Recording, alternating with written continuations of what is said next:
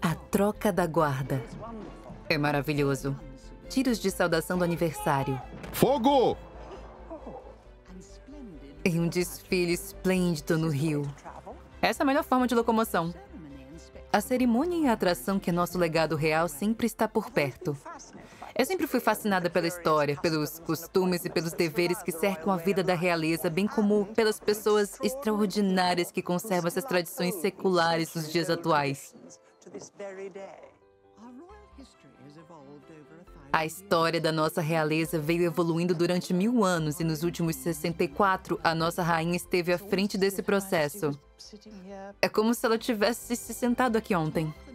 Para assinalar o aniversário de 90 anos da nossa monarca mais longeva, eu viajarei aos quatro cantos do reino e estarei nos bastidores das residências reais oficiais de Sua Majestade. Se você pedir para uma criança desenhar um castelo, nove em cada dez desenharão aquilo. Eu conheço um pouco desse mundo. Eu já estive a serviço de Sua Majestade da minha própria e singela maneira. Ah, aqui estamos. Este é meu nome. Eu conhecerei detentores de títulos reais. É bom ter você aqui. Que bom te encontrar. E com ofícios extraordinários. A rainha mergulha os dedos. Isso é ótimo. Eu vou revelar esses estranhos e maravilhosos rituais. Disparar no coração das nossas tradições reais. Vocês estão todos deslumbrantes. Do antigo, porém perfumado cargo de espalhadora de ervas real. Eu posso ser sua espalhadora na sua próxima visita. Adorei a ideia. Até o falcoeiro real. Eu sou um farsante, nunca trabalhei com falcões. Sem falcões. Sem falcões. Minha jornada começa na Inglaterra, no Castelo de Windsor que muitas vezes é descrito como a residência real oficial favorita da rainha. Veja, ela chegou.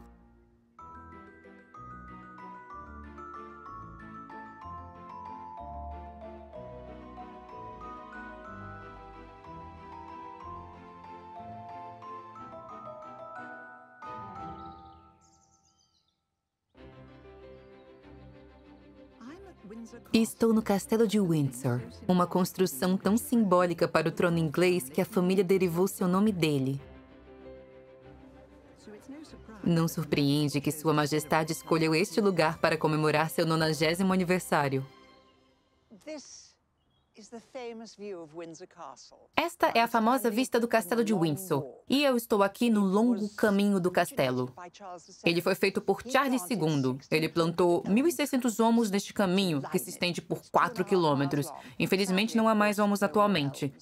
A maioria delas são castanheiros da Índia, difíceis de se identificar sem as folhas, mas esse caminho leva ao maior e mais antigo castelo residencial do mundo.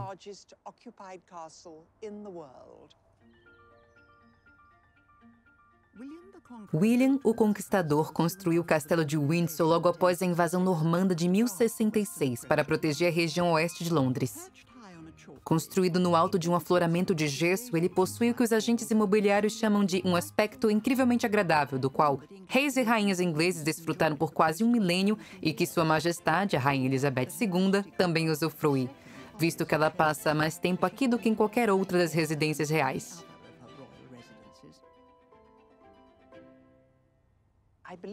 Se não me engano, às quintas ela gosta de deixar Londres e vir para Windsor. Quem não faria o mesmo? Vejam, é quinta e ela chegou. O sol está brilhando. Espero que Sua Majestade tenha um ótimo final de semana para passear com os cães e cuidar um pouco do jardim. Infelizmente, eu não fui convidada para cuidar do jardim de Sua Majestade, porém eu recebi uma autorização para olhar os arredores. A vida no castelo é repleta de atividades. Por aqui passam mais de 3.500 turistas todos os dias que apreciam um item único do nosso patrimônio real. Porém, o que eles talvez não saibam é que este não é somente o lar da rainha. É também onde temos 150 residentes permanentes que têm a sorte de morar e trabalhar aqui. É extraordinário, não é? Este é um pedaço vivo da história. Nem parece algo do passado. Estamos acostumados a ver Sua Majestade em Windsor. Seja cavalgando com os cavalariços no grande parque ou recepcionando chefes de estado no magnífico salão de St. George, uma das joias dos apartamentos estatais. Construído ao redor de um quadrilátero, os apartamentos também contêm os aposentos privados da rainha, que ficam a leste da torre circular. A oeste fica a ala inferior, com seus terraços e claustros do século XIV, além de uma construção que já testemunhou mais eventos marcantes da vida da realeza do que qualquer outro e é a minha primeira parada. Aqui fica a gloriosa Capela de St. George. Para mim, ela está mais para uma catedral com essa construção maravilhosa em pedra. No telhado da capela, posicionados nos pináculos, foram esculpidos animais que são chamados de feras reais. Elas representam antigos títulos reais, desde o cervo branco de Edward V até o touro negro do Duque de Clarence. Os detalhes são extraordinários. Na arquitetura de hoje, nós temos apenas blocos de concreto. Vocês conseguem imaginar quanto tempo foi necessário para que esses exímios escultores esculpissem tudo isso? Neste local havia uma igreja desde o século XIII. Porém, a capela, como conhecemos hoje, foi encomendada por Eduardo IV e finalizada em 1528. Não é maravilhosa? O teto é absolutamente glorioso. É tão bem iluminado. É incrível, pois muitas catedrais e igrejas são bem escuras. O que torna St. George fascinante não é por ela ser uma maravilha arquitetônica, mas sim por ter feito parte de 500 anos da história da realeza. Creio que o primeiro rei a ser enterrado aqui foi Henry VI. Muitos Georges e Williams.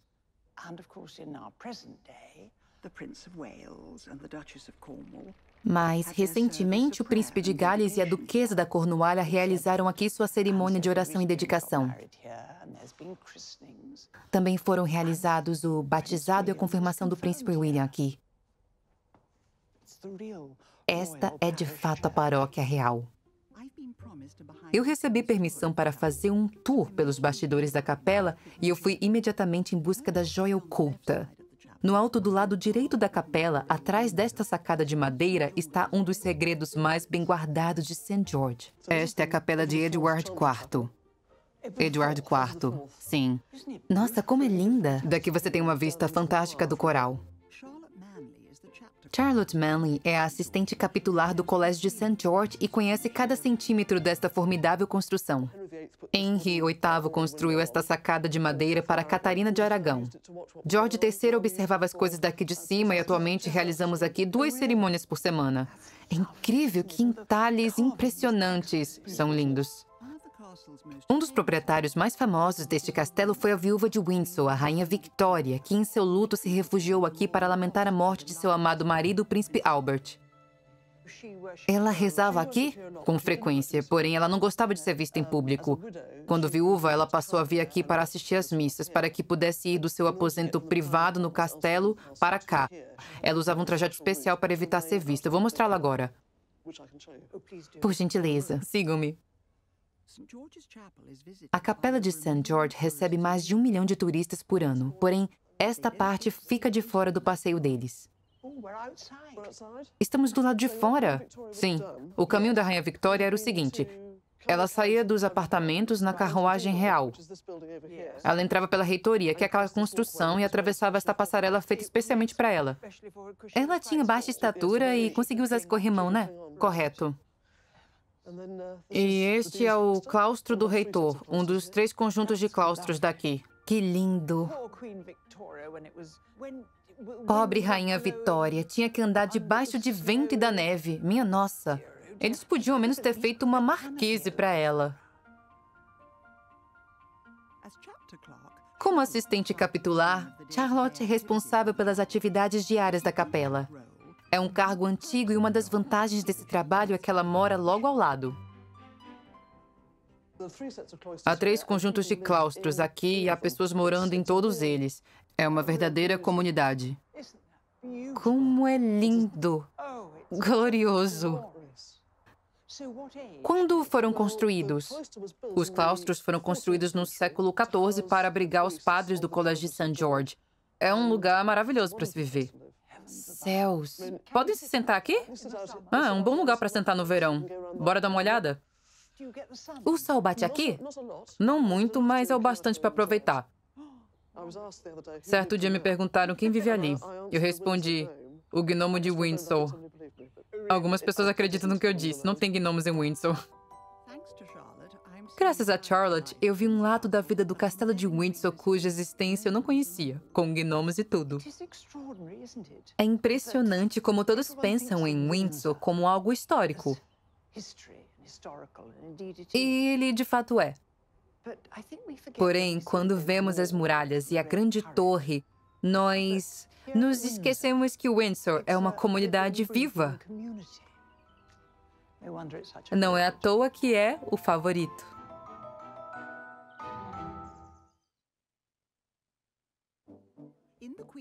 Eu visitei o castelo de Windsor no 90 aniversário da rainha, onde a troca de guarda tem atraído multidões há mais de 350 anos. Hoje, a troca foi realizada na ala inferior do castelo, em frente à capela de St. George. Eu me juntei ao tenente George Burns, da Guarda dos Granadeiros, que conhece essa cerimônia de cor e salteado. Agora, os guardas antigos vão apresentar as armas aos guardas novos. Uhum. Para os leigos, isso pode parecer um treinamento de campo confuso. No entanto, essas são armas de verdade portadas por soldados veteranos, encarregados do dever de proteger a monarca e, assim como muitas tradições reais, cada movimento está repleto de história e simbolismo. Agora, os oficiais vão caminhar adiante e se cumprimentar com a mão esquerda. Oh, só com a mão. Esse é um resquício da ocasião em que as chaves do castelo seriam entregues. Com a mão esquerda. Sobre o que estão conversando? Estão dando dicas. Estão falando de possíveis problemas que merecem atenção se os turistas estão alvoroçados. Disseram-me que os soldados com três chevrons no uniforme são terceiros sargentos. No exército regular, os soldados com essa patente são chamados de cabos e possuem apenas dois chevrons. O motivo desta particularidade do uniforme se deve a uma das mais famosas moradoras de Windsor. A Rainha Vitória olhou pela janela e viu que havia apenas um cabo fazendo a guarda e ficou enfurecida com a baixa patente do guarda. Ela então disse: Eu sou rainha, eu deveria ter alguém de patente mais alta. Mas ao invés de substituírem todos os guardas, eles apenas adicionaram um chevron. Maravilhoso. Ocupando postos centenários pelo castelo, a nova guarda vai proteger a rainha pelas próximas 48 horas.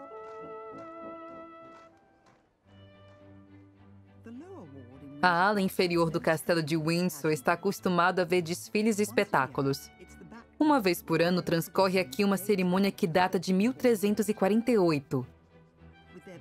Com suas capas azuis e chapéus de veludo preto com plumas brancas, os Cavaleiros da Ordem de Garter são um seleto grupo selecionado pessoalmente pela rainha. Ao se tornar um Cavaleiro de Garter, você fará parte de uma das mais antigas e importantes ordens da cavalaria da Inglaterra. A Capela de St. George é o lar espiritual da ordem, o santuário privado deles fica aqui no coral, apesar de eles não cantarem. É aconchegante para quem gosta de lugares assim. Cada cavaleiro possui uma posição vitalícia. Eles podem vir aqui a qualquer momento e se sentarem abaixo de seus estandartes. A assistente capitular Charlotte Manley nos explicou melhor. Charlotte, quem deu origem aos Cavaleiros de Garter? Foi Eduardo III no século XIV. Ele teve uma infância desagradável com brigas familiares, por isso ele queria um grupo de pessoas que fossem completamente leais a ele e uns aos outros. Então ele decidiu criar esse grupo de homens combatentes, porém que também possuíssem um elemento espiritual. Ele decidiu se juntar ao príncipe de Gales e a outros 24 exatamente como é hoje. Então eles ainda são 24. Os homens e mulheres que temos hoje, nos dias de hoje, não são cavaleiros combatentes. Temos dois marechais do ar e um almirante. Então estamos protegidas. Estamos. Nós temos alguns combatentes e também temos antropólogos, políticos, juízes, aposentados. As ocupações deles são diversas. Qual desses eu reconheço? Aquele com rastilho? Aquele é John Major, que tem um toque de ironia em relação às heráldicas tradicionais. O rastrilho é um símbolo de Westminster e do parlamento. Normalmente são cinco pontas apontadas para baixo, porém ele usa apenas três, com três pontas com círculos vermelhos em cima. São três pontas com três círculos vermelhos. John Major, parlamentar, jogador de Incrível, adorei a sagacidade. Os brasões das armas dos cavaleiros atuais ficam penduradas acima dos assentos e alinhados com as placas dos seus antecessores. Dos cavaleiros do século XV que estiveram na Batalha de Azincourt até os líderes contemporâneos. Onde Churchill ficava? Ali em cima. Vamos lá. A última fileira de assentos é reservada aos cavaleiros de Garter. Eles podem vir aqui e se sentarem no seu lugar reservado. Churchill está aqui. Oh, é bem pequeno, minha nossa. Que adorável. O brasão de Churchill é inspirado no de seu avô, o Duque de Marlborough. O lema do nosso grande líder de guerra era: fiel, porém desafortunado. Este incrível local dos fundos da Capela de St. George é também o local de descanso de muitos monarcas ilustres. Quem é este? Aqui estão Henry VIII, Jane Seymour e Charles I. Estão todos aqui? Sim. Henry VIII queria ser enterrado em Windsor e encomendou um grande sarcófago de mármore, enormes castiçais e efígies de bronze. Porém, nenhum dos seus filhos conseguiu realizar seu desejo. Desculpa. Então ele e Jane Seymour tiveram que esperar. Cem anos depois, Charles I foi decapitado e seu corpo foi trazido até Windsor. Quando William IV subiu ao trono, ele disse: Isso é ridículo. Dois dos meus antepassados, os soberanos, estão em covas sem nome. Eu farei suas lápides. Ele as fez, porém o piso havia sido reformado e eles a colocaram no lugar errado. Onde eles estão? Eles não estão embaixo da lápide. Eles estão exatamente aqui embaixo. Eles colocaram a lápide um pouco mais para oeste. Bem, é melhor do que um estacionamento em Leicester. É melhor do que um estacionamento em Leicester. Durante o reino de Henry VIII, tivemos pouquíssimos cavaleiros, 53 ao todo, incluindo seis dos seus filhos bastardos. Há três assentos vagos na ordem. Quando Sua Majestade decidiu indicar um novo cavaleiro, um dos primeiros deveres do indicado será desenhar um brasão de armas para representar sua nova posição. Para isso, eles vêm aqui, ao lado da Catedral de St. Paul, no coração da cidade de Londres. Estamos no Colégio das Armas. Ali está mostrando 1956, porém o colégio ocupa este local desde meados do século XVI. Desde a época em que os cavaleiros ostentavam seus brasões nas batalhas. Não é necessário ser um cavaleiro ou do pariato para ter uma heráldica tem se otorgado brasões para homens e mulheres notáveis desde o século XV. Você faz uma solicitação e, se for credenciado, os arautos vão te ajudar a desenhar o brasão. O chefe do colégio e arauto-diretor é Thomas Woodcock, detentor do título de Rei das Armas de Garter. Aqui está escrito concessões. Esses foram os brasões concedidos? Sim, esses foram concedidos de 2010 a 2011. Vamos dar uma olhada. Você já pensou em solicitar um brasão? Não. Como xerife, maior ou dama, sua qualificação é mais que suficiente. Vou levar em consideração. Esse foi concedido a Julian Fellows. Tem um camelo e uma tartaruga. Tem um camelo. Ele disse que queria juntar os dois, pois achava que havia demorado muito para chegar a algum lugar na vida. Foi bem astuto. E foi uma bela ideia. Para o artista foi um desafio encontrar o equilíbrio, pois o camelo e a tartaruga não têm muito em comum. Porém, eles são muito habilidosos nisso. Se eu imagino um desenho que não consigo fazer, eu digo ao artista: desenhe um esquilo segurando um bastão de marechal, por favor.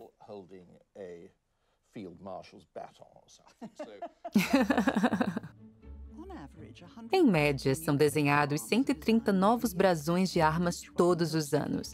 Cada um deles ajuda a manter Thomas e o Colégio de Armas relevantes. Os arautos não recebem um aumento salarial desde 1618. Eu recebo 49 libras e 7 centavos por ano. Eu prometo que vou pagar um café para você depois, Thomas. Mas eu. Uh... Qual foi o brasão mais esquisito que você já Teve alguns que não eram tão bonitos de se ver. Teve um cirurgião do aparelho digestivo que quis colocar o intestino no brasão. Seria bem mais sutil colocar dois pontos para representar o intestino, mas ele insistiu em colocar uma minhoca esquisita enrolada no escudo. Não ficou muito bonito. Realmente não ficou muito bonito.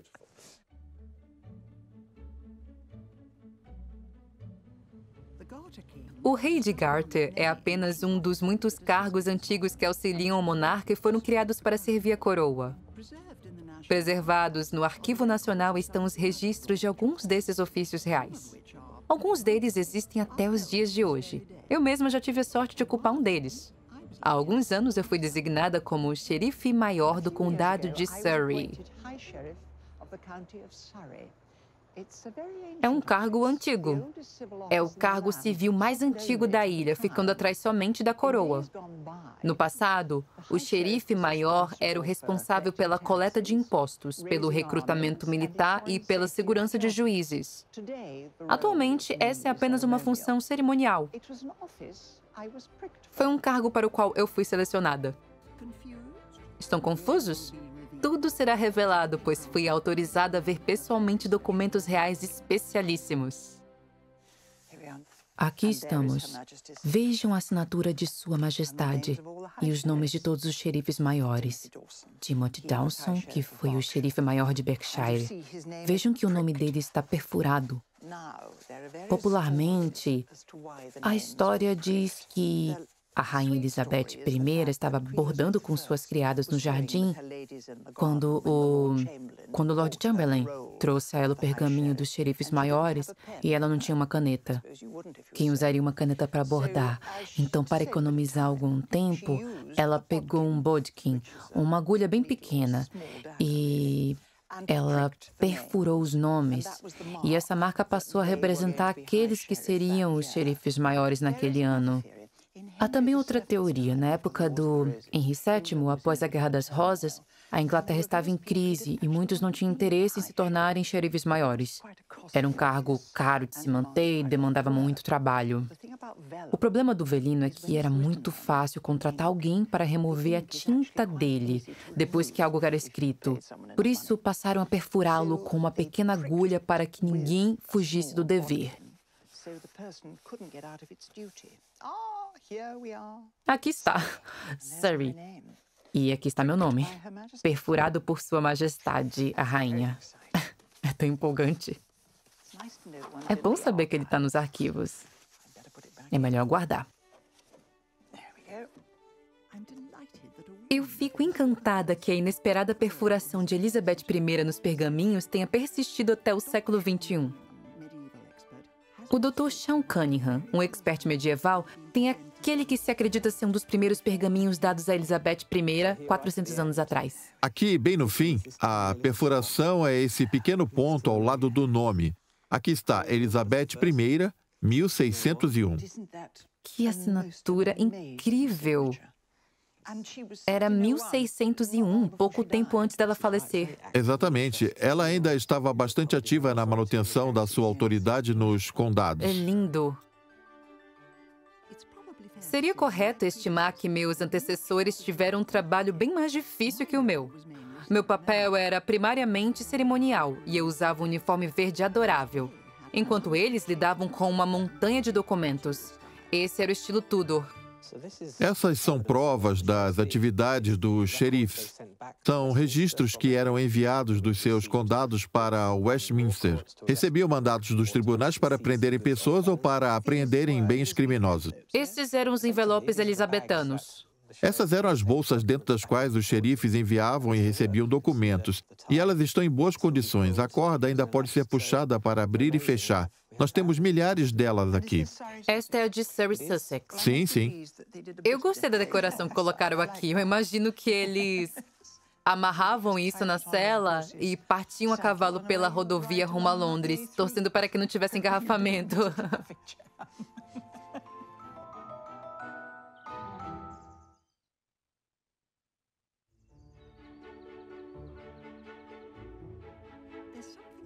Há algo em Windsor que cativou os monarcas do passado e do presente.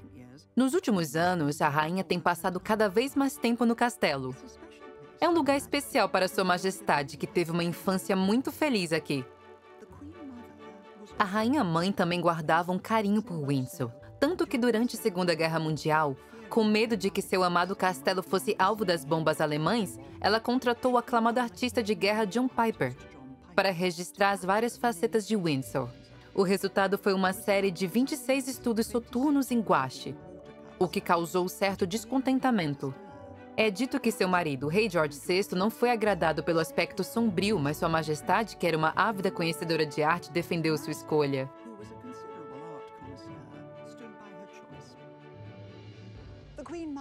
A rainha mãe gostou tanto das pinturas que, ao deixar o castelo de Windsor em 1953, levou-as consigo e pendurou-as na Clarence House.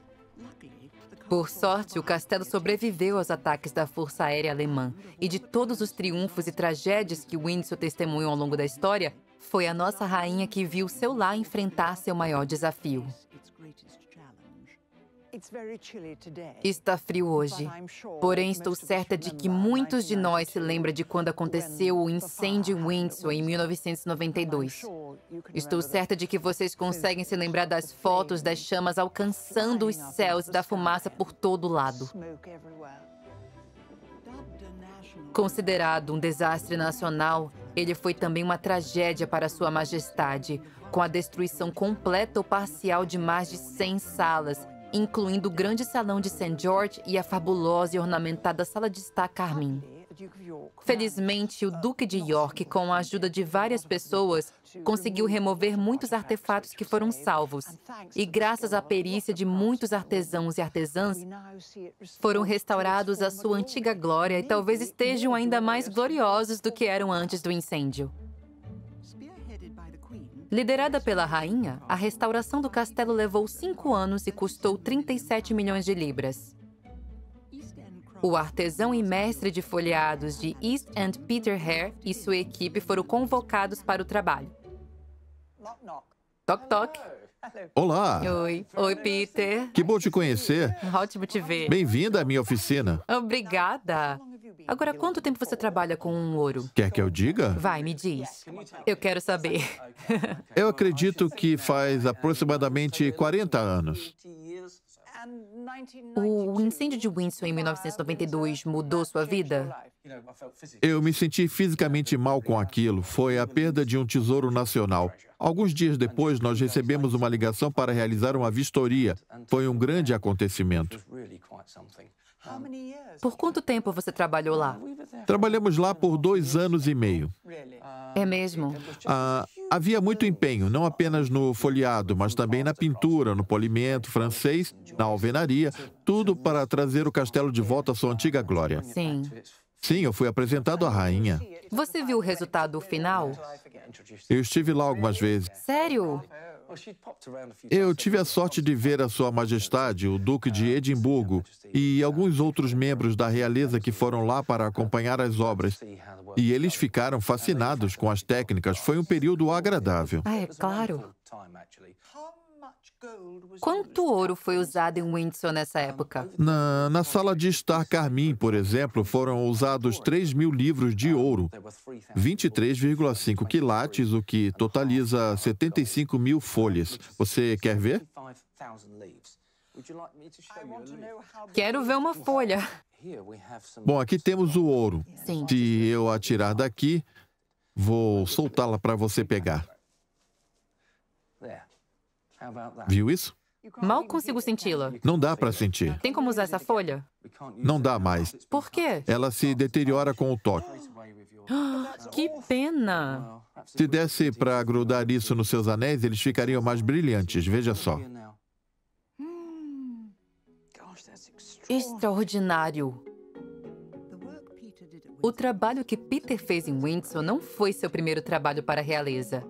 Os apartamentos estatais do Palácio de Buckingham e a Barca Real Gloriana ambos receberam seu toque de ouro. Seu trabalho atual é um magnífico portão de entrada para um exclusivo hotel Pousada no Campo. O Tony trabalha conosco há 25 anos. É maravilhoso. Quer tentar? Eu adoraria. Você é destra ou canhota? Destra. Segure o livro com a mão esquerda. Na mão esquerda. Na mão esquerda. Certo. Assim, perfeito. Esfrego no cabelo. E encoste no ouro. Encostar no ouro. Isso, ele grudou. Agora é só colocá-lo no lugar. Oh, que desastre. Não, está bom. Ficou torto. Eu conserto. Tem certeza? Sim, está tudo bem. Sua esposa reclama das suas roupas? Não. Porque elas estão cheias de ouro? Sim, eu sempre levo ouro para casa. Tem até no seu rosto. Todos ficam me olhando quando eu ando de trem.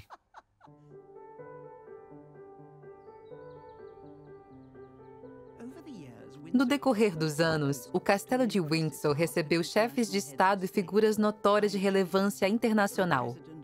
Do presidente Obama a Nelson Mandela, todos eles tiveram uma audiência privada no castelo. Nesta lista ilustre existe um nome pelo qual tenho muito interesse, porém se trata de um convidado da primeira rainha Elizabeth. Que lindo busto de Shakespeare. É o quadringentésimo aniversário de sua morte. Poucos dias após o nonagésimo aniversário de Sua Majestade, a Rainha. Preciso averiguar todas as suas ligações com Windsor.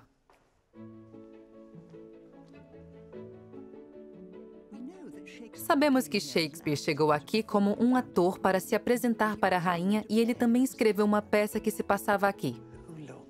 Vejam. Este é As Alegres Senhoras de Windsor. Eu já atuei nas Alegres Senhoras de Windsor no papel de Senhora Ford em Chichester. Porém, nossos roteiros não eram assim. É fascinante. Ele foi bordado para a Rainha Mary em abril de 1917, durante a Primeira Guerra Mundial. Shakespeare escreveu As Alegres Senhoras de Windsor aqui, é claro. Fascinante. Por que sempre sussurramos nesses locais? Eu acho que é devido à sensação de se estar em um local sagrado. Esta exibição veio dos tesouros da coleção real e estão sob a curatela do bibliotecário real, Oliver Urquhart Irvine. As estrelas desta exibição são três volumes inestimáveis chamados de Fólios. Um deles pertenceu ao rei Charles I, cuja execução quase decretou o fim da monarquia em 1649. Estes são os fólios. Sim, fólio significa um livro grande. É mesmo? Por isso são chamados assim. Ensinaram-me a nunca escrever em livros. Mas alguém escreveu neste. Pelo que vejo aqui está escrito Benedict e Beatriz. Essas são anotações importantes, foram feitas por Charles I. É muito provável que seja a cópia de Shakespeare que Charles I estava lendo quando esteve aprisionado no castelo de Carisbrooke. Nós sabemos que o livro era dele. Enquanto viver, terei esperança. Aqui ele escreveu: Enquanto viver, terei esperança. O que eu digo é algo tocante, visto que viria a acontecer e o restante das anotações dessa página compilam a sequência da extraordinária história do volume, incluindo correções feitas por George III. Alguém o deu a ele? Quando ele trouxe de volta para a Biblioteca Real. Alguém tinha de dar livros a ele. Eu suspeito que o hábito do monarca expressar seus interesses e esperar pelos presentes provavelmente se encerrou com Elizabeth I. As peças de Shakespeare têm sido encenadas diante dos monarcas em Windsor desde que o próprio veio até aqui para se apresentar para Elizabeth I. Essa foi uma tradição que a rainha Victoria incentivava com alegria. É esta pintura maravilhosa? Sim, ela foi encomendada pela rainha Vitória para registrar uma das apresentações. Deve ter sido extraordinário esse momento íntimo de uma chefe de estado assistindo uma peça marcante. Em público. Em público. Eu odiaria ter de fazer isso. A Rainha Victoria tinha um diário onde registrava os eventos teatrais e suas opiniões sobre as atuações. Como esperado, Sua Majestade era incisiva. Aqui temos. Senhorita Kinney interpreta a cena da loucura de maneira comovente e com graciosa perfeição. O fantasma foi um fracasso. Ele foi hesitante e fraco. Graças a Deus não era algo público. Imagine a reação do fantasma. Os diários da Rainha Victoria, assim como manuscritos reais, livros, insígnias e medalhas de vários séculos, são mantidos na Biblioteca Real sob a vigilância de Oliver. Bibliotecário Real é o seu título. Sim. Você vive em Windsor. Eu vivo aqui. Esta é a maior coleção de livros reais. A Biblioteca Real está distribuída em nove palácios, habitados e não habitados. A maior e mais importante parte fica aqui em Windsor.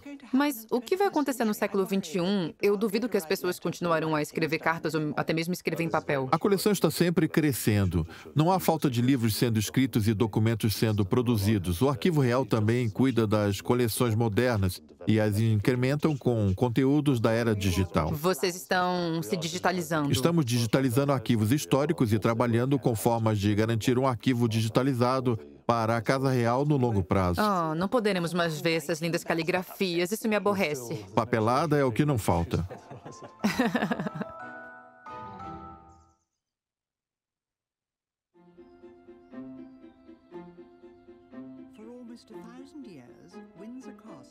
Por quase mil anos, o castelo de Windsor tem sido o símbolo da continuidade da coroa inglesa. Ele é o lar do soberano e incorpora séculos de tradições reais. Como país, nós não aceitamos uma monarquia ausente. Queremos uma família real presente. Atualmente estamos acostumados a ver a família real em ocasiões de Estado, na abertura do parlamento, em casamentos reais, mas há 400 anos, quando este caminho foi concebido, um vislumbre da família real era algo raro. Foi George IV quem viu o caminho longo como um ótimo local para realizar procissões formais, fundando assim a tradicional parada real de Ascot.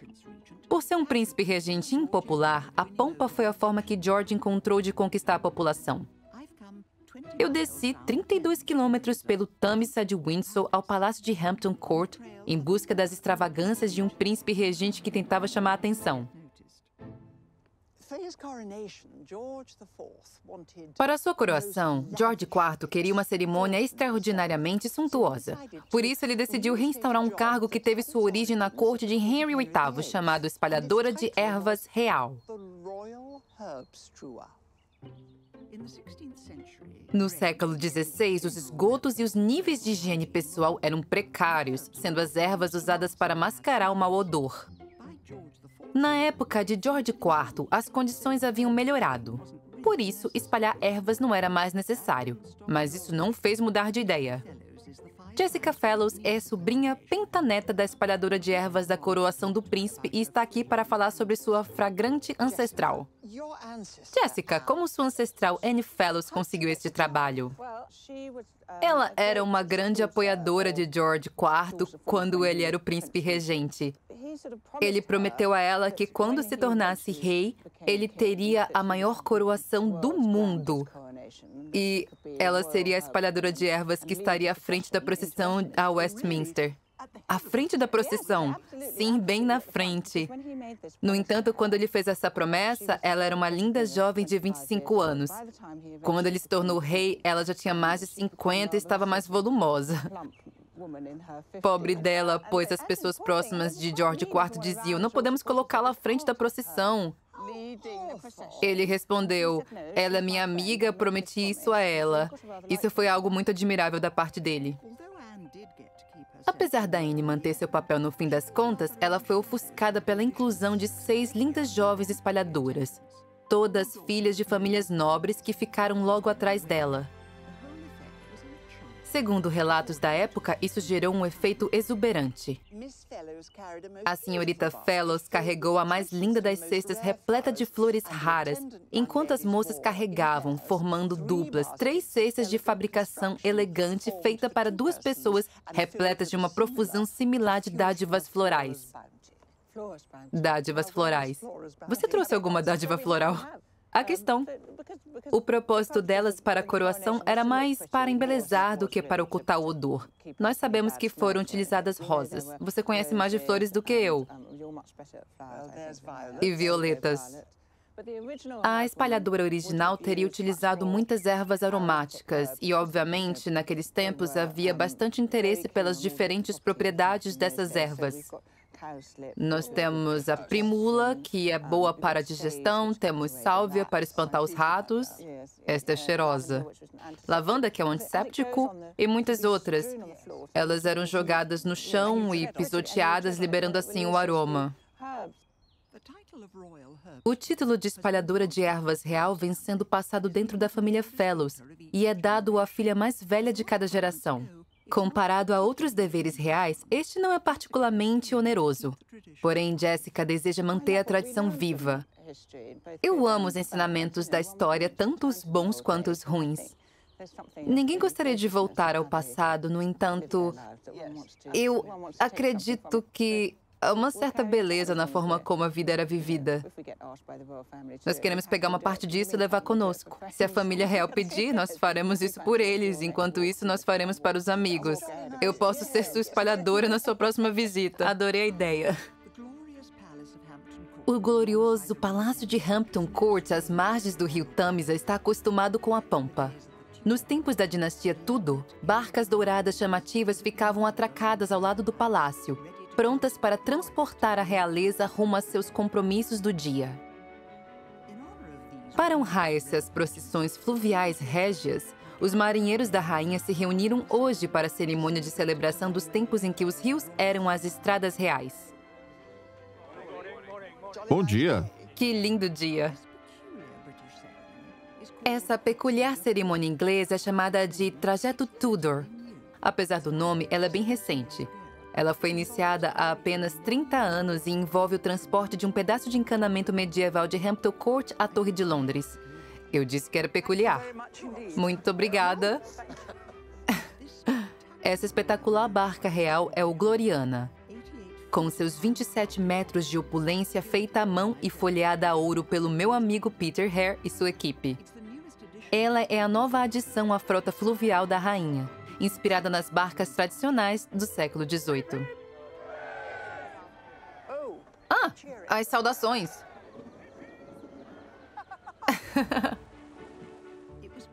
Foi o príncipe Charles quem teve a ideia de encomendar uma barca real e dá-la de presente para sua mãe em comemoração a seu jubileu de diamante em 2012. O Gloriana esteve à frente da flotilha com mil barcos o evento náutico mais espetacular que Londres já viu em anos.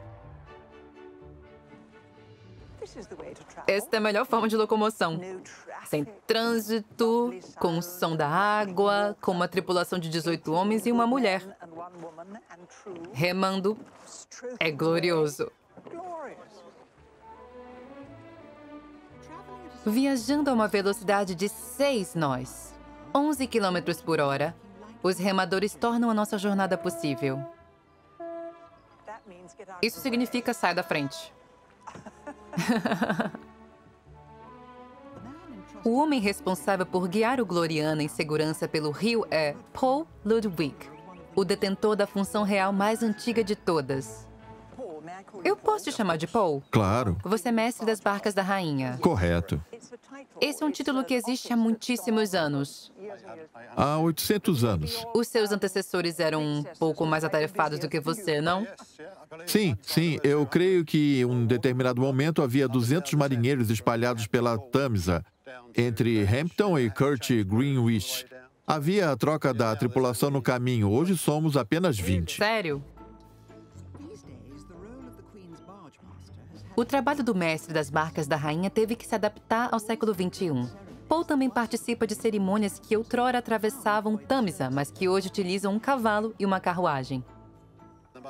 A tarefa mais importante para nós é a abertura do parlamento. Como acontece? É quando eu entrego a coroa do Estado Imperial ao parlamento vindo do Palácio de Buckingham. Nessa ocasião, eu seguro a coroa. É mesmo? Ela é pesada? Não é, pois a rainha precisa utilizá-la. O peso dela é razoável. Você não ia querer usar o dia todo. Ela é bonita? Ela é fantástica, seja pela história, pelas pérolas dos brincos de Elizabeth I, a estrela da África, o rubi do príncipe negro, é inacreditável. Maravilhoso. Somos muito sortudos por ter tanta história. Com certeza. Você faz tudo isso pela honra, não é? Certamente, nós também somos pagos. Quanto? 30 libras por ano. Nossa. Essas 30 libras são chamadas de honorários. Acaba sendo evidente que fazemos isso pela honra. Eu não deveria dizer isso, mas o rei de Garter ganha 49 por ano. Ah, acho que vou reclamar sobre isso. Você deveria. Talvez não.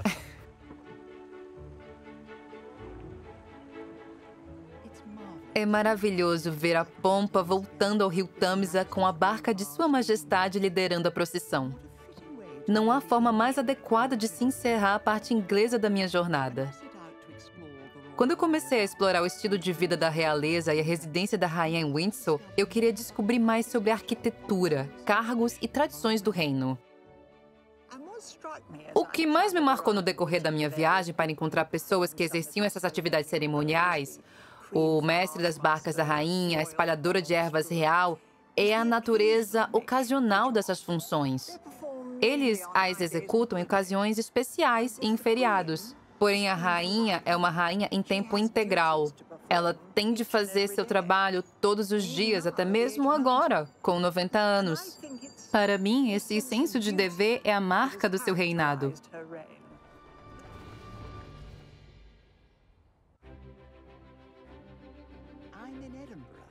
Eu estou em Edimburgo, a cidade real da Escócia. Outrora, os reis da Escócia habitaram o relativamente inacessível castelo de Edimburgo, no alto do monte.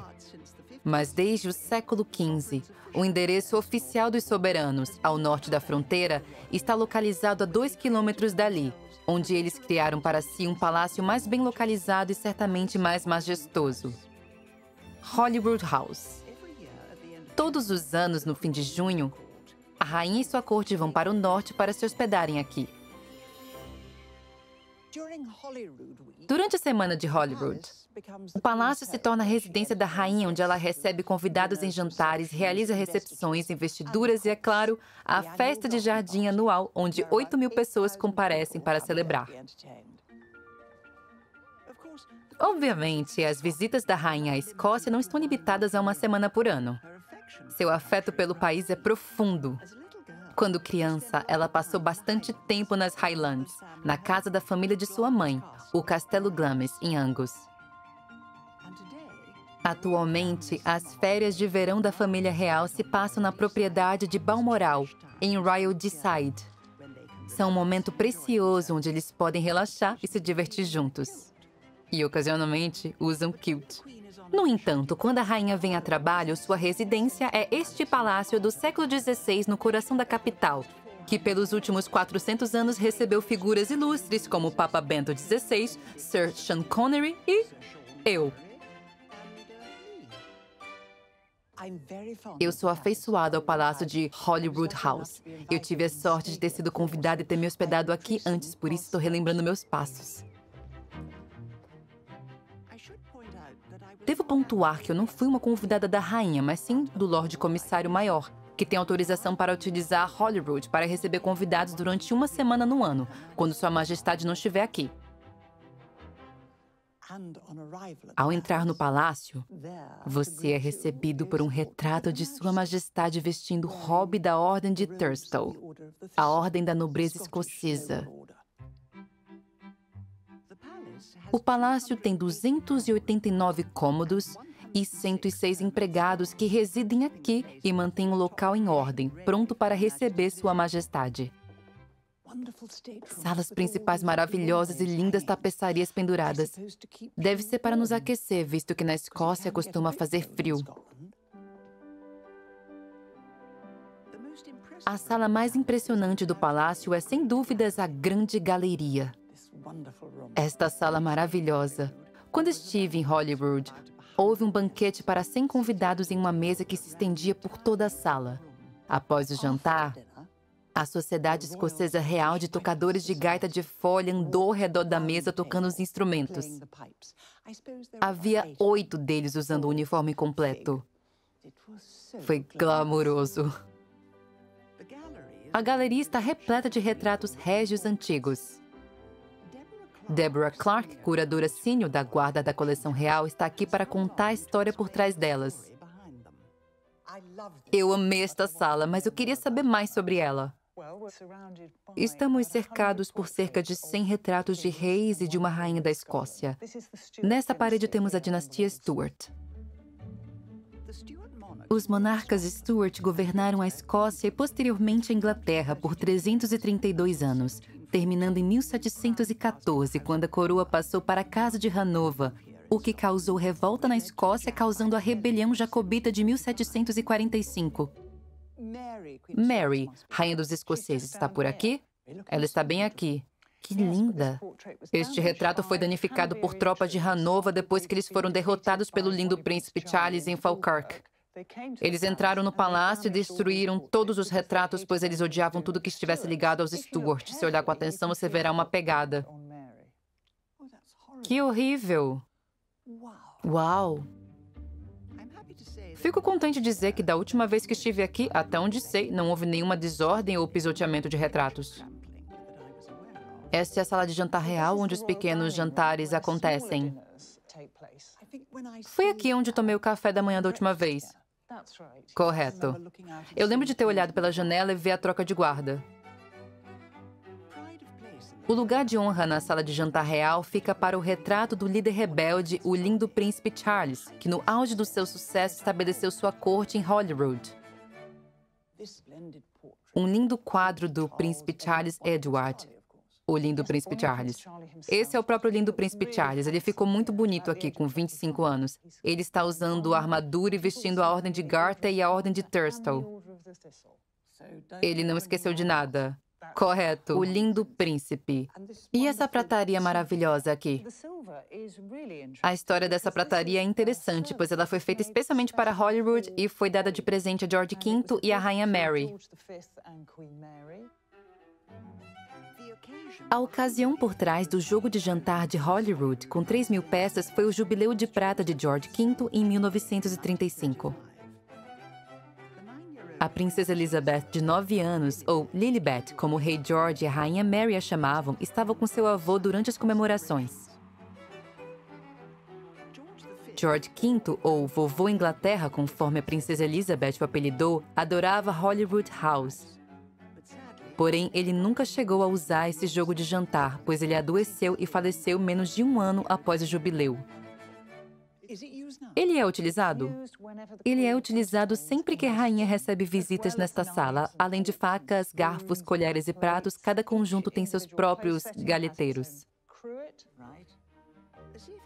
Como se já não fosse o suficiente ter seu próprio sal e pimenta, o conjunto também inclui um garfo especial para ostras e outras curiosidades. Para que serve este aparato? Este é um pegador de aspargo. Sabia que algo estava faltando na minha cozinha. Você pega o aspargo assim. Cada peça tem gravada o brasão de armas da Escócia. Que lindo! Esse foi um presente a George V e a Rainha Mary. Foi um presente de Sir Alexander Grant, o empresário que fundou a McVitie's. Essa prataria existe graças a um biscoito. Sim. Esplêndido. Quanta generosidade. George V iniciou a tradicional festa de jardim anual de Hollywood em 1911. Essa é a parte central da visita de verão da rainha. Com seus uniformes verdes e chapéus com penas, a companhia de arqueiros reais estão sempre presentes ao lado da rainha. Desde 1822, eles têm sido os guarda-costas do soberano ao norte da fronteira. Entre no caminho deles por sua própria conta e risco.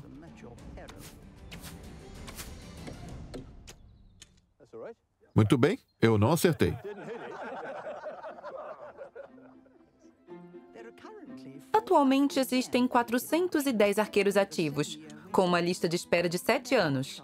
Quando não estão afiando suas flechas, as profissões dos arqueiros variam de fazendeiros e cervejeiros a corretores de ações e cirurgiões.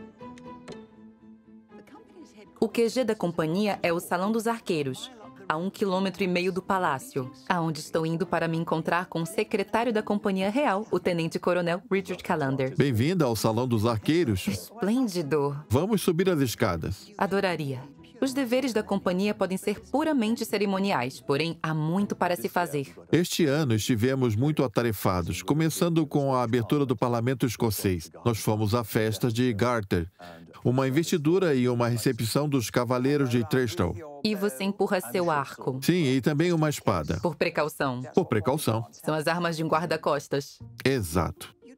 Você deve estar se perguntando o porquê de a Companhia de Arqueiros Reais ter uma árvore de Natal, mas na realidade essas são as medalhas dos vencedores da mais prestigiada competição de tiro com arco, a Flecha de Musselburgh.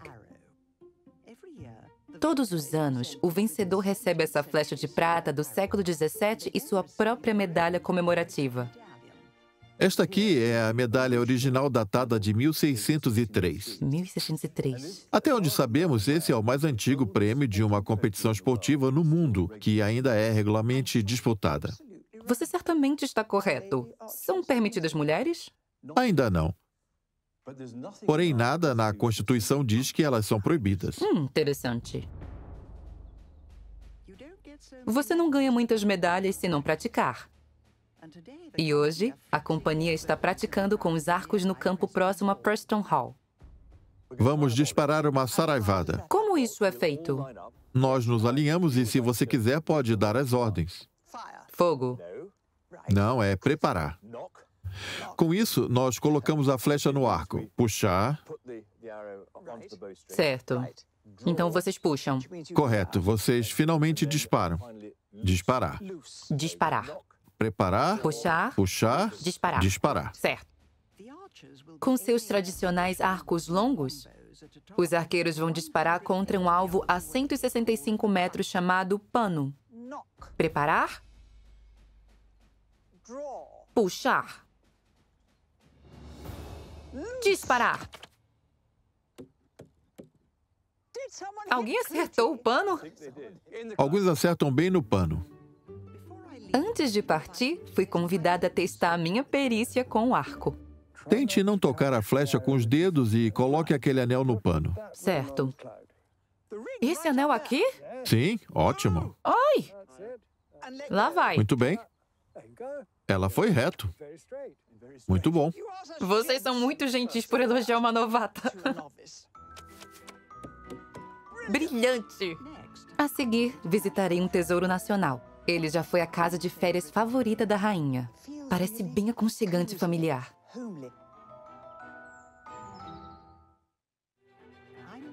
Eu estou na Escócia em um tour real, visitando os palácios da rainha e conhecendo pessoas a serviço de Sua Majestade.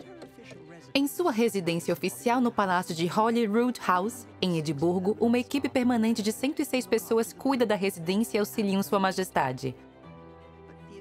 No entanto, o título de mestre da residência real pertence a alguém que vive a 160 quilômetros dali, às margens do Lago Fyne.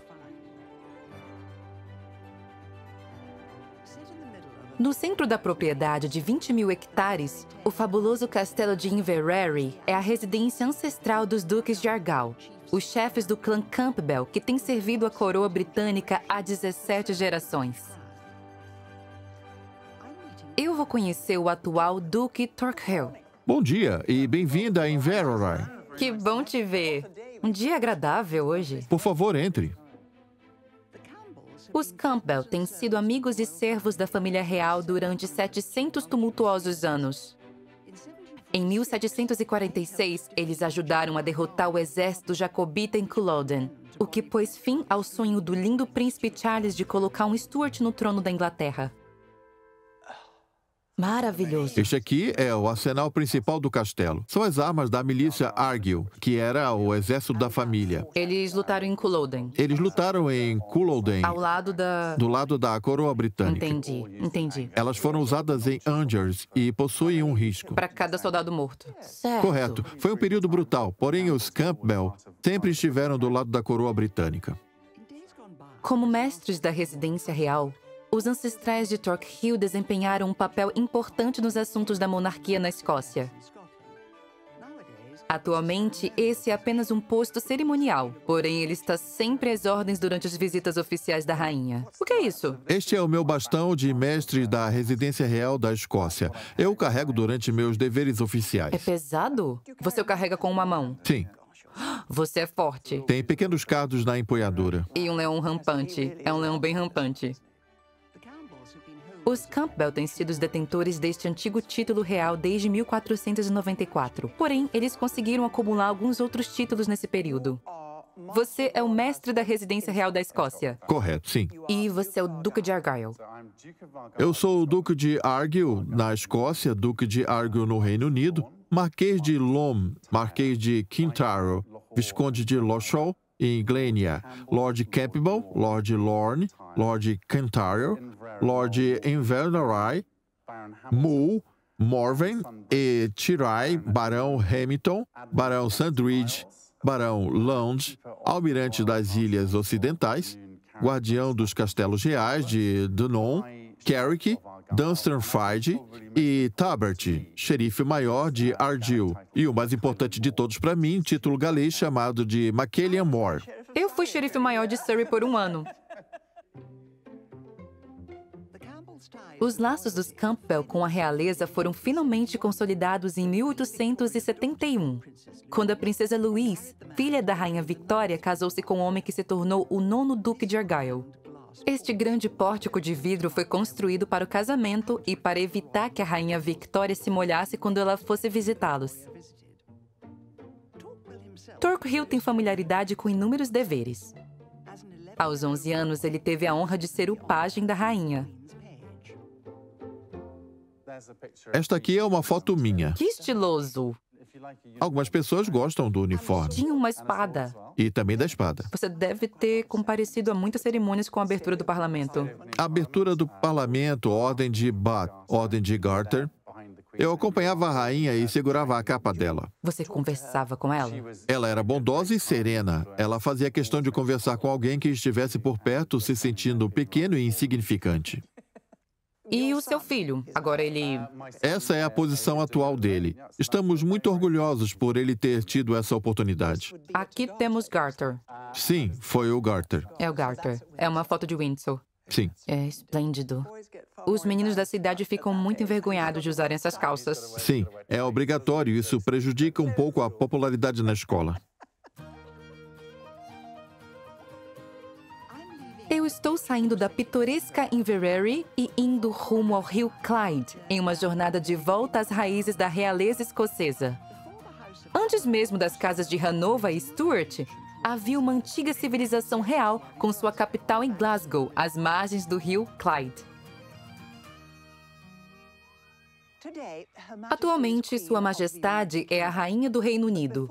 Porém, Antes dos atos de união de 1707, a Escócia era um reino independente e, antes disso, era formada por vários reinos. Estou aqui em Govan, no coração de Glasgow, em busca de um dos reinos perdidos. Para muitos, Govan é um nome que conjura imagens da época em que Clyde era um polo de construção naval e Glasgow era o centro industrial do império. Muitos dos estaleiros não existem mais. Porém, a antiga igreja de Govan ainda está de pé e abriga alguma das lápides mais antigas da Escócia. As pedras de Govan são extraordinárias. Imagine quantos homens eram necessários para carregá-las. Não havia guindastes. São cinco destas maravilhosas pedras adornadas, cada uma pesando duas toneladas e meia e cobertas de gravuras complexas. Elas indicavam local de descanso de indivíduos notórios do reino antigo de Strathclyde. Para aprender mais, eu vou ao encontro do arquiteto e defensor do patrimônio histórico Andy McVoy. Qual o tamanho do reino de Strathclyde? Depende de quem está respondendo. Eu vou acreditar em tudo que você disser. Ele ia de Gales, passando pela Nortúmbria, Cúmbria, Yorkshire. Oh, sério? Atravessando o Clyde e acabava onde hoje é Argyll. No século VI, o antigo reino de Strathclyde era poderosíssimo e Govan era seu centro. O governo real se dividia em três locais: a igreja, o espaço da Assembleia, também conhecido como Colina Dunster, e a residência do rei, que ficava do outro lado do rio. Colina Doomster. Esse nome é assustador. Dum significa lei. Alguém que ficaria no topo dessa colina cerimonial e administraria o Dum, decidindo de maneira favorável ou desfavorável. Sério? A residência real havia sido destruída muito antes desta gravura da região de 1757 ter sido feita. Porém, a grande colina ainda estava lá. A colina Doomster ainda existe. Não, não existe mais. Ela estava condenada. Sim. A pressão da indústria era tão intensa que os taleiros foram avançando em direção à igreja e muitos monumentos foram soterrados. Comparando-se os mapas antigos e modernos, Andy acredita ter localizado a colina Dumpster, o símbolo antigo do poder na Escócia. Você não ganha nada se adivinhar agora. É um estacionamento. Foi nesse estacionamento que os reis de Strathclyde reuniam-se com a corte. Que sorte que eu tenho uma boa imaginação. Imagine uma colina com 120 metros de comprimento, 80 metros de largura e 20 metros de altura. O epicentro seria, caso não sejamos atropelados, mais ou menos aqui. Isso seria um triste fim. Tudo que sobrou do reino de Strathclyde foi um estacionamento. É verdade. Isso sempre acontece. Richard III que o diga. Sim, temos que tomar cuidado com isso. A indústria naval de Clyde pode ter tirado a colina Doomster e os últimos vestígios do antigo reino de Strathclyde de nós. Mas, em troca, nós recebemos um dos símbolos mais icônicos da monarquia moderna e uma maravilha de sua época. No estaleiro da John Brown, em Clydeside, o iate real de 4 mil toneladas está pronto para ser lançado por Sua Majestade. Em 16 de abril de 1953, ainda em luta oficial pela morte de sua avó, a Rainha Mary, Sua Majestade veio a Clydeside para realizar sua primeira cerimônia de lançamento como rainha. O nome do navio foi mantido em segredo e o público aguardava ansiosamente para saber como ele seria chamado. Darei a essa embarcação o nome de Britânia. Desejo êxito a todos que nele navegarem.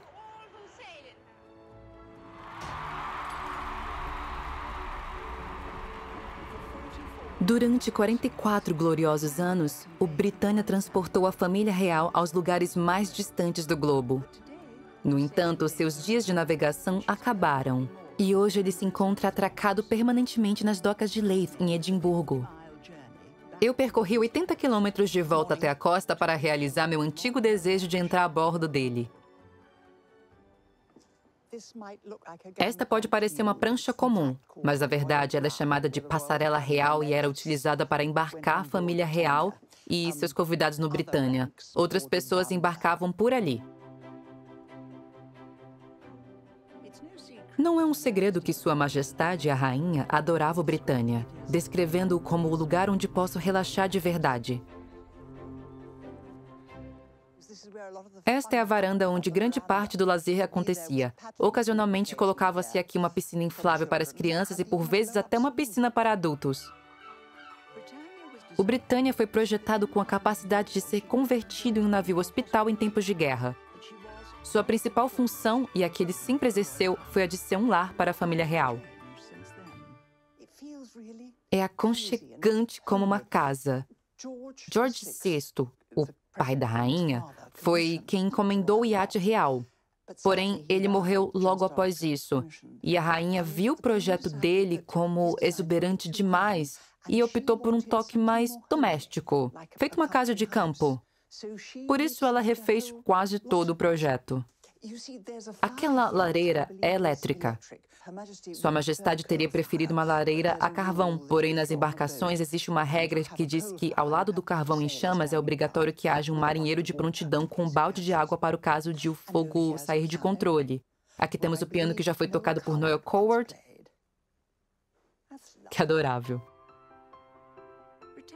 O Britânia estava longe de ser um palácio de lazer.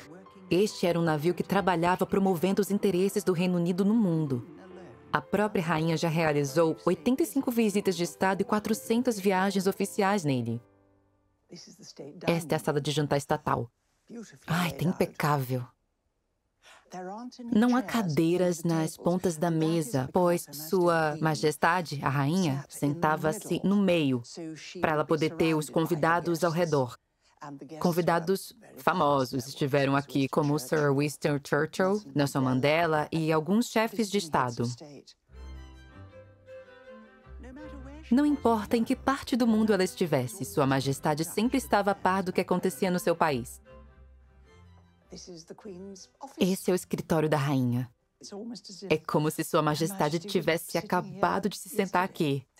E aqui está o telefone dela. Aqui temos o secretário pessoal de Sua Majestade, o secretário de imprensa, o Duque. Onde quer que fosse, ela sempre estava trabalhando. Espero que tenha tirado um tempo para o lazer. Na suíte do almirante, eu me encontrei com um dos antigos oficiais que comandaram Britânia, Sir John Garnier. Quais são os principais cuidados que se deve ter para comandar um iate como este? Tudo precisa estar impecável. É claro. Nós éramos conhecidos pela excelência discreta. Isso é incrível. Isso seria um ótimo lema. Você jantava com a família real todas as noites, né? Uhum. Almoçava e jantava. Essa é uma foto do jantar. Ai, parece um singelo jantar em família. Normalmente era assim. Né? Sim. Mas com um tocador de gaita de folha. Sim, eles ficavam andando. Sim, eles costumam fazer isso. Você sempre fazia suas refeições na sala de jantar estatal. Sim, algumas vezes nós fazíamos um churrasco no deck. Ai, que amor! Essa é a rainha no centro. Eu acho que o príncipe Felipe era muito habilidoso na grelha. Ele era um especialista. A rainha ajudou com o pudim de Natal. E vocês a deixaram colocar a bebida? Foi um esforço em conjunto. Tivemos que misturar bastante pudim no Natal.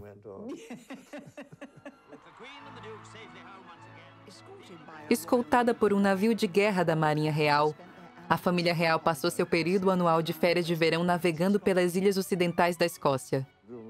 Nós navegávamos vagarosamente pela costa ocidental e à noite nós decidimos até onde navegaríamos de acordo com as condições do tempo. O trabalho era incrível, foi maravilhoso trabalhar tão próximo da família real. Eles eram sempre simpáticos. Ah, sim. E foi uma experiência maravilhosa. A seguir, continuarei meu tour pelo Britânia e verei as cabines reais por dentro.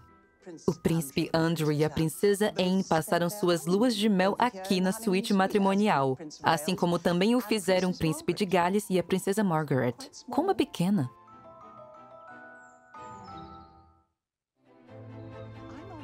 Estou a bordo do iate real Britânia. Este esplêndido palácio flutuante foi o lugar onde muitos momentos alegres em família se passaram. Ele foi descomissionado em 1997, tendo estado em atividade durante uma parte considerável do reino de Sua Majestade. Os apartamentos reais ficam na popa da embarcação. Eu deveria ter colocado um vestido longo. Assim como em uma casa, os quartos ficam no andar de cima. Eu não fazia ideia de como seria o quarto da rainha, mas não pensei que seria tão pequeno. Eu acho que aquelas pérolas saindo delicadamente da caixa sejam da rainha. Lindas fotos da família real aqui, aproveitando a vida, sabe? Essa foto é maravilhosa. Todos parecem tão bronzeados. Tanto o, o, príncipe Andrew quanto a princesa Anne passaram suas luas de mel neste iate, na suíte matrimonial, assim como fizeram o príncipe de Gales e a princesa Margaret. Ainda está pequena. Quando a família estava a bordo, eles eram auxiliados por uma tripulação de 220 pessoas apelidados de iates. Veja quantos manômetros. Era preciso se lembrar o que cada um deles representava. O Britânia era movido a vapor e o engenheiro David Rushford era um dos responsáveis por garantir seu funcionamento. Quanto tempo você trabalhou aqui, Dave? Pouco menos de quatro anos. Nós ficávamos aqui embaixo, pois assim podíamos controlar a velocidade dos motores por meio dessas válvulas, que levam o vapor para as turbinas. Esse é um dos sistemas de comunicação. São conectados direto com a ponte. Oh, você via os membros da família real com frequência? Sim, o protocolo era simples. Bastava ficar de lado, levantar a cabeça, curvá-la em cortesia e falar somente quando falavam com você. Outra coisa singular na Britânia era que, fora da sala de máquinas, nós precisávamos calçar plinsons, para que, caso tivéssemos que passar pelos quartos em algum horário importuno, nós não fizéssemos muito ruído. Como você se divertiu à noite? Ocasionalmente, nós fazíamos um concerto. Eu e um amigo fazíamos imitações dos Two Rones, mas por sermos engenheiros, nós adotamos o nome de Two Grims. Ah, incrível! Essa aqui foi minha última viagem. Eu fiz três apresentações. Essas apresentações foram a pedidos especiais. A família real ficava bem próxima. É, sim, a rainha e o duque de Edimburgo ficaram bem próximos de você. Sim, bem perto. Sim, exatamente. Você ficou ansioso? Não. E no final, assim como o London Palladium, Sua Majestade se encontrava com o elenco. Que adorável. E, e foi em 1979? Sim, foi em 1979. E, e quando foi que você deixou o iate? Sim, em 79. Essa foi mesmo a sua última viagem? Sim. É sabido que Sua Majestade ficou triste por ter de atender à pressão popular. Seu amado iate foi descomissionado em 1997. Após viajar mais de um milhão de milhas náuticas, o Britânia pôde descansar. Ao invés de viajar ao redor do mundo, o mundo vem até ela. Tenho estado no iate real. Eu agora entendo por que a família real adorava tanto estar nele e quão importante ele foi pelas viagens que fez. Eu fico muito feliz que ele tenha sido conservado para que agora todos possamos apreciar a maravilhosa atmosfera que ele tem. O iate Britânia pode não mais carregar a rainha pelas Highlands e pelas ilhas, mas ainda há muitas atividades que Sua Majestade pode fazer quando ela vem ao norte da fronteira. Uma das mais curiosas deriva de uma lenda do século XVI que conta sobre quando o rei James V foi atacado por bandidos violentos. Ela foi recontada pelo mestre de tudo aquilo que é escocês, o poeta e escritor Sir Walter Scott. O rei James, sozinho disfarçado, viu-se numa briga com alguns ciganos ou viajantes e foi atacado por quatro ou cinco deles. Isso aconteceu bem próximo à ponte de Cramond, que é onde estamos. O rei posicionou-se na ponte, que era alta e estreita, e conseguiu se defender com sua espada contra o número de pessoas que o atacaram. O rei estava em apuros, até que um fazendeiro local chamado Jock Russell veio ajudá-lo e espantou os agressores. Jock levou o rei ao seu celeiro e limpou suas feridas. Isso deu origem a uma das incumbências mais peculiares, a de lavador de mãos real. Um título que tem sido passado aos descendentes de Jock e que hoje é dividido entre três deles: Simon, Tessa e Alex Hanson Crawford. Este é o famoso celeiro. Sim, o rei teve seus ferimentos lavados aqui e depois eles fizeram uma refeição. E beberam um pouquinho. Talvez. Depois disso, Jock o levou até os portões da cidade, que ficava a vários quilômetros daqui. Ele não fazia ideia de que aquele homem era o rei. Ele ficou sabendo disso apenas vários dias depois, quando ele recebeu as terras de Ray Reed. Foi melhor que um presente de Natal. Walter Scott deu a ideia para a criação da cerimônia da lavagem de mãos como forma de consolidar a visita de George IV a Edimburgo em 1822. E ela tem sido realizada por todos os monarcas usando os utensílios de pratas originais. São lindos! O pai de Simon, Peter Howson Crawford, foi convocado para lavar as mãos da nossa rainha quando ela visitou Holyrood em 1952, logo após subir ao trono. Como é que foi a cerimônia? Alex fará o papel de pai. Tá. Primeiro ele se aproxima da rainha e então eu derramo a água de rosas. Ah, água de rosa. Ela era aquecida? Sim. Não sei ao certo. A rainha então mergulha os dedos. Apenas os dedos. Que agradável. É apenas simbólico. Após isso, oferecemos uma toalha. Ou a toalha. E por isso que vocês estão em três. E nos retiramos. A cerimônia será encerrada. Ai, foi maravilhoso! É tão lindo que cerimônias desse tipo ainda existem. Com certeza. Vocês lavaram as mãos da rainha? Nós não lavamos. A tradição diz que o chefe da família deveria escrever a rainha. Meu avô perguntou com que frequência ela deveria ser realizada. A resposta foi que uma vez por reinado seria o bastante, o que não é ruim. Ah, foi bastante. Então, você pode guardar água de rosas por enquanto. É. É algo maravilhoso que esses encargos antigos ainda persistam. É parte da história. Isso ajuda a manter a história viva. De fato. O lavador de mãos real celebra um evento pouco conhecido na tradição régia da Escócia. Porém, se voltarmos mais alguns séculos no tempo, veremos uma incumbência real que no passado foi muito importante para o cotidiano do monarca. Ao sul de Edimburgo está localizado o Castelo Borthwick, residência ancestral dos lordes de Borthwick, que durante séculos têm sido os falcoeiros reais dos monarcas da Escócia. Este é um castelo como normalmente imaginamos, robusto e intimidador. Os Borthwick construíram este castelo em 1430. John, o 24º Lorde de Borthwick, está aqui para me receber. Olá! Bem-vinda a Borthwick. Obrigada, magnífico. Ele foi reformado recentemente. Ficou maravilhoso. O pai de John, o 23º Lorde de Borthwick, foi o último a residir no castelo que foi vendido e transformado em hotel de campo. Com ou sem o castelo, os Borthwicks sempre conservarão a sua tradicional ocupação real. Você é o falcoeiro real. Sim. Um título herdado. Ele remonta aos tempos de James III. Sei. Ele era um ávido falcoeiro, assim como o terceiro Lord Borthwick também era. Os dois se deram muito bem e James apontou William Borthwick como o falcoeiro real dos reis e rainhas da Escócia, tornando-se assim um cargo de honra. Então, seus herdeiros vão herdar esse cargo? Sim. Eu queria saber com que frequência você tem que lidar com os falcões. Eu sou um farsante. Nunca trabalhei com falcões e não tenho planos de fazer isso no futuro. Sério, sem falcões? Sem falcões. Um falcoeiro real sem falcões. Exatamente, sem falcões. Receio que essa seja a situação. Eu acredito que Sua Majestade não costuma caçar muito com falcões. o título de Falcoeiro Real do Lord Borthwick pode ser puramente cerimonial. Porém, Graham Nilsson é um entendedor do assunto. Praticante da falcoaria há 16 anos, ele trouxe consigo um falcão macho de dois anos de idade para mostrar como é esse esporte real. Quem é essa linda ave? Tari. Tairi. O que o Tairi caça? Ele consegue derrubar fazões, tetrazes e perdizes. Oh, pequeno assim? Sim. O que um falcoeiro real faria que você não faz? O falcoeiro real supervisiona o criadouro onde os falcões eram mantidos.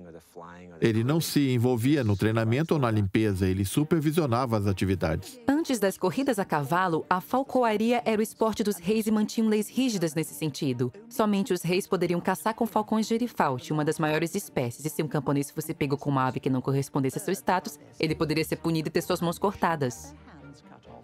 Os reis queriam sempre provar que tinham os melhores falcões. Certo. Por exemplo, James I da Inglaterra, James VI da Escócia, realizou a última das grandes competições da falcoaria, onde competiu contra Louis XIII em 1624.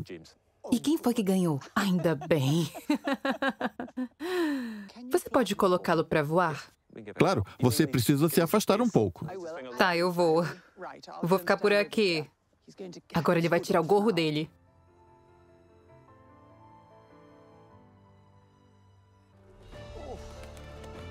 Veja só!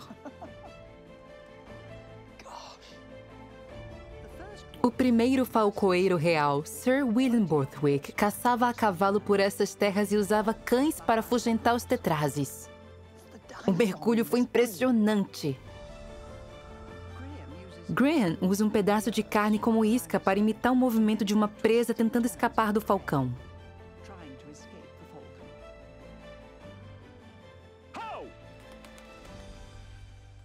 Pronto. Foi isso aí. Bastou uma palavra do Graham para ele voltar. Incrível. Ele colocou o gorro de volta. Parabéns, Tairi.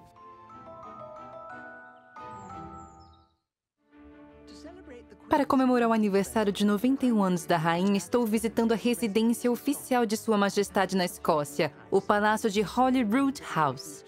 É uma construção que testemunha inúmeras histórias, de revoltas religiosas à revolução com cercos e pilhagens. Nove reis e rainhas da Escócia, incluindo a mais notória entre todos, Mary, rainha dos escoceses. Aqui temos um impressionante retrato de Mary, rainha dos escoceses. Ela passou o início de sua vida na corte francesa, por isso ela é tão elegante. As façanhas políticas e românticas de Mary, bem como a sua morte precoce por decapitação, transformaram os quartos dela neste palácio em atrações turísticas desde o século XVIII. Que quarto maravilhoso! Essa é a cama dela. É muito pequena para mim. O teto é incrível. Este era o quarto de Mary, rainha dos escoceses. Creio que ela penteava seus cabelos à luz daquela janela. Muitas coisas fascinantes aconteceram a ela. Uma delas em particular aconteceu aqui, neste quarto. Mary morou aqui por sete anos, tendo se casado duas vezes nesse período. Seu segundo marido foi o aristocrata Lord Darnley. Porém, era dito que ela estava concomitantemente envolvida com o jovem secretário italiano Davi ou Davi Irizio. Ele é bastante atraente. Um olhar alegre. Não à toa ele era desejado pelas mulheres. Até que ele foi assassinado. Certa noite, embriagado e enfurecido, Darnley juntou um grupo de amigos aristocratas e foi em direção aos aposentos de Mary. Mary, Rizio e alguns amigos estavam fazendo uma refeição aqui. Uma sala bonita e bem aquecida. Até que ouviram um barulho. Uma multidão surgiu, liderada por Ruthven, amigo de Darnley, que usava uma armadura completa, por isso Mary percebeu que havia algo suspeito. Ela se colocou na frente de Irísio para protegê-lo. Ruthven descreveu o ocorrido neste livro. Sua Majestade ficou de pé na frente de Dave, ele segurando Sua Majestade pela saia do vestido, a parte cheia de dobras, e encostado na janela com sua espada desembainhada em mãos. Porém, a pobre rainha não foi capaz de fazer nada para protegê-lo.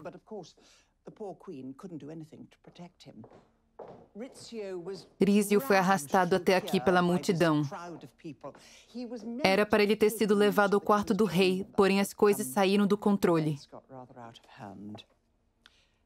Muitos deles guardavam um ódio tão veemente por Dave que, não suportando mais, mataram-no na porta da sala exterior do quarto da rainha. Eles o esfaquearam aqui. 56 vezes. Aqui diz: o corpo de David foi deixado aqui após seu assassinato. Após centenas de anos, pessoas vieram até aqui para ver este local e as manchas de sangue. Acho que isso não é sangue. Parece vermelho demais. Mas se é isso que os turistas querem. O drama e a história da realeza escocesa estão em todo canto neste palácio extraordinário. Mas se existe alguém a quem a indústria do turismo da Escócia deve agradecer, não é a um rei ou rainha, mas sim a um poeta. Sir Walter Scott, o homem que nos deu o lavador de mãos real, também foi o responsável por um golpe publicitário que tirou a Escócia do fundo do poço após a derrota esmagadora na Batalha de Culloden e restaurou seu prestígio. Em 1822, George IV tornou-se o primeiro monarca britânico em 189 anos a visitar a Escócia. Em apenas duas semanas, o tartan se tornou uma febre em Edimburgo. O tartan, que antes era visto apenas nas Highlands, graças a Scott, tornou-se um símbolo nacional do dia para a noite. Walter Scott tinha um enorme desejo de trazer notoriedade à Escócia. Ele conhecia o rei George IV e sugeriu que ele deveria ir ao encontro dos escoceses mais ilustres de Edimburgo, vestido tartan como escocês, algo que era banido naquela época. Aqui temos um magnífico retrato de Wilkie do Rei, com uma aparência bem escocesa usando seu kilt. Devem ter sido necessários vários metros de tartan para acomodar o tamanho volumoso do rei. Ele também usava calças rosas, algo que Wilke ignorou, para cobrir suas pernas não tão charmosas.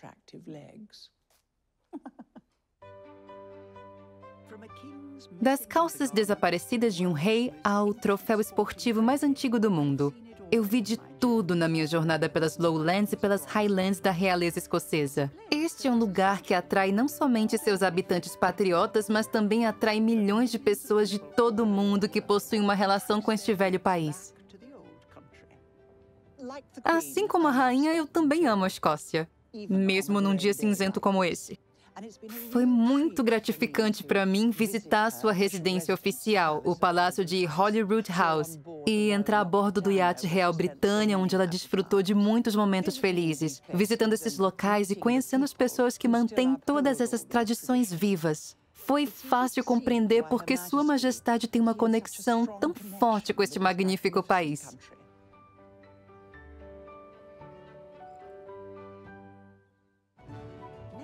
Na próxima parte, eu cruzarei o mar da Irlanda indo até Belfast e a residência oficial da rainha na Irlanda do Norte, onde as celebrações do seu aniversário estão sendo um estouro. Os canhões Estão todos sendo disparados no país ao mesmo tempo. Eu conheci o corneteiro da fortaleza, o comitê pessoal de boas-vindas de Sua Majestade. Você tem que treinar muito? O fôlego precisa estar em dia. E experimentei alguns dos pratos favoritos da rainha: filé de sole Veronique, roast beef, aspargos e merengue. Ela come pudim? Sim, mas sempre com traje formal. Com traje formal e decorações.